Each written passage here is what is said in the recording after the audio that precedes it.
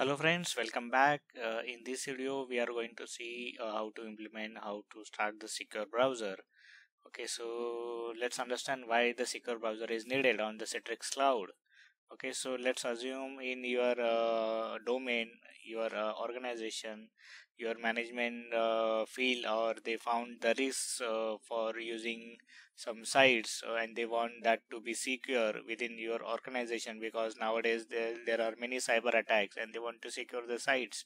So how to do that? So citrix cloud we have a service secure browser okay so let's start this. So once you click on home you can see secure browser uh, services. You can see secure browsers so once you click then you will be here okay? So let's start. Okay so let's click on the middle option authenticated external. Okay continue. Let's give the name and the site url so let's uh, i will go with the facebook. This is a common url and there is a lots of chances for the cyber attacks. So let's do this. So i added the name url and let's select the region. You can select auto also okay? And if you want to change the icon just simply go ahead and change. So i'm not changing the icon so let's publish this. Okay so now it is published. Now again uh, the same thing go to the library and find this facebook icon. If not found then simply reboot uh, sorry refresh once. So I can see here uh, the option now uh, the simple process I shown in earlier videos. If you not seen my earlier videos please go ahead and watch all the Citrix Cloud series the playlist okay so click here and click on manage subscribe. Select the domain which you want to add. Give the access. So I'm giving to HR group. G stand for group U stand for user.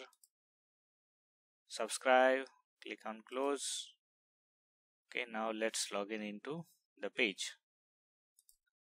So for that you need to go again to the library oh sorry not library the secure browser to my services secure browser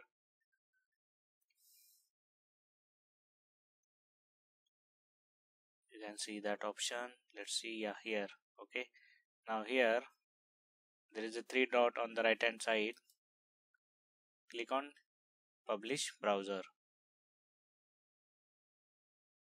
Let me show you this screen is not adjusting okay? But uh, on the right hand side there are three uh, dots. Just click there and click on launch publish.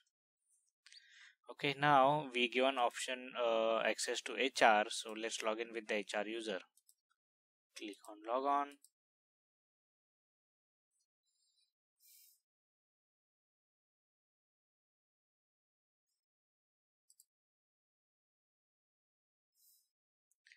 you can see this. This is our secure client id